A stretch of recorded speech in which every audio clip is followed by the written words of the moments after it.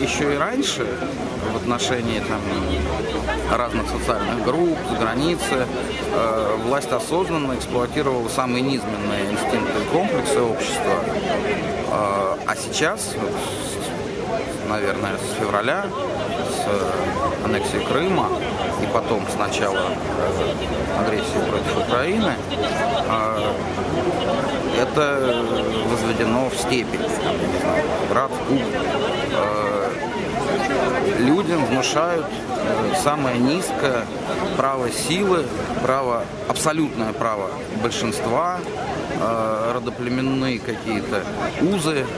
э, ну, много что можно говорить, но все это, в конце концов, э, и непосредственно связано с пропагандой агрессии и приводит к ней естественным образом. В обществе возрастает нетерпимость.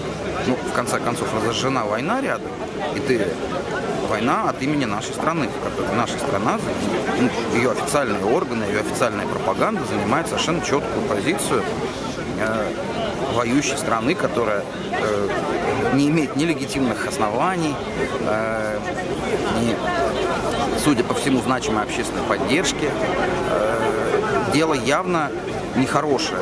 Для того, чтобы э, убедить общество в том, что это нужно, э, приходится выливать на это общество э, огромное количество лжи, э, врать про другую сторону. Все это э, не- невротизирует, что называется, людей. Э, потому что люди чувствуют себя дискомфортно, естественно, в ситуации, когда э, от их имени делается что-то плохое, они вынуждены солидаризироваться с этим.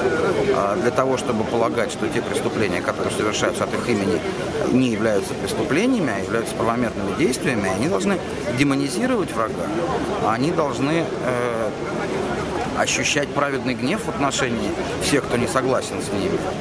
Э, Вот такое вот первобытное сплочение происходит. Э, И в этой ситуации, конечно, агрессия велика. В принципе, общество расколото, абсолютно расколото. На неравные части, конечно, но тем не менее нетерпимость очень велика, и это естественно, потому что если одни люди убивают других, и э, одни а, ассоциируют себя с одной стороной, другие с другой, понятно, что ну вот здесь не доходит до крови, не доходит там э, пока до насилия, но грань очень тонка, и это может случиться в любой момент. Ситуация, к сожалению, раскручивается. Поэтому вот просто проявление инакомыслия, эти люди просто стоят в рамках российского закона, Э, Понятно, что их немного. Они не угрожают никоим образом большинству, они угрожают ментальному единству этого большинства, да, этой пропагандистской общности, э, иллюзии всеобщего одобрения. Э, Вот эта вот агрессия, она своим необходимым компонентом имеет единогласие, нетерпимость к любому другому мнению. И эти люди приходят и говорят, мы не хотим, чтобы вы здесь стояли, мы не хотим, чтобы здесь были эти флаги, мы не хотим, чтобы, здесь были эти плакаты, хотя, конечно, это наша страна и наш город, так же, как и даже если нас сейчас меньшинство.